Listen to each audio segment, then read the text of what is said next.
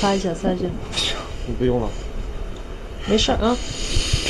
可能会比较自私，但是我想请你休息一下之后，请继续坚持你所想，坚持的东西和自我，因为哪怕他现在在此时此刻没有得到你想要的回应和回报，但是总有一天你会得到专属于你的那一份理解和支持。